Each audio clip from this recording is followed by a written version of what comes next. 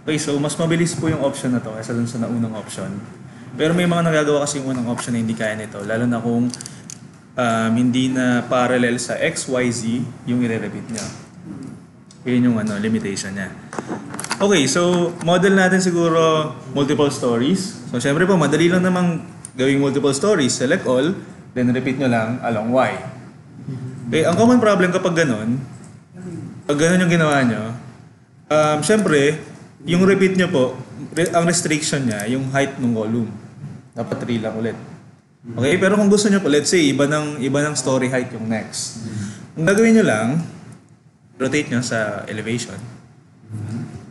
And then, ang select nyo lang po, yung ano lang, yung beams lang. Okay, so yun lang yung i-repeat natin. Ah, ano pang height naman? So, Then same process po, translational repeat along Y. So let's say uh, 3.5.